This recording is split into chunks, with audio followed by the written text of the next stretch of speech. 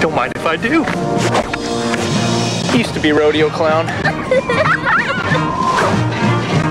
Pets are trying a little harder these days because the pets of the future are here. Poochie, Meowchi, and Chirpy 32 cool colors, one in every Happy Meal. The future is Nouchie, and it's only at McDonald's.